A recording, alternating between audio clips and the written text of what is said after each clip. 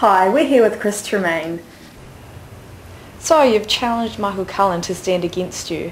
That was a brave thing to do. Yeah, I guess it is. Uh, Michael Cullen's been uh, manoeuvring in the background to appoint a, a, new candidate to challenge me in the seat of Napier.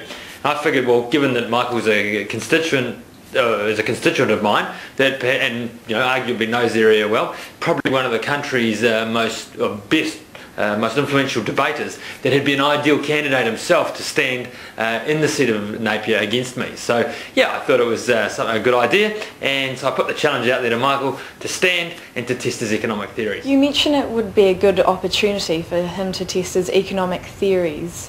What do you mean by that? Well, in terms of his economic theories, uh, Dr. Cullen has been, uh, for, for many years, has been totally opposed to any form of tax cuts.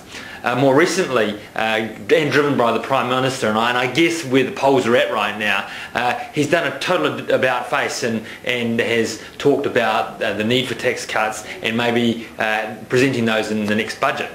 But funnily enough, an agenda on uh, on Sunday, just just two days ago, uh, he was there again uh, arguing the case against tax cuts. So we've got kind of schizophrenic uh, approach to the whole uh, tax cut agenda. So once again, I thought, hey, great opportunity for Michael, for Dr. Cullen to test that uh, his theories in a in a constituency campaign in Napier. So I've challenged him in that seat of Napier to stand against me the next election. Have you had any feedback from Michael Cullen? Well, no, the, the, the response has been pretty deafening, although uh, some local journal, journalists uh, were successful in getting a response out of his department, which basically said that uh, they were going to appoint a, a, an excellent candidate to stand against me and that that candidate would, would have uh, Michael's 100% support. Uh, so I guess uh, that's, that's an answer that Michael won't be standing, so it depends which way you look at it. Look at it. I think some people will probably think that's a good thing, others will be a little bit disappointed. But from my, my perspective, I'm certainly certainly disappointed that uh, Dr. Cullen hasn't taken up my challenge to stand against me in Napier and have a good crack at winning the seat of, of Napier back.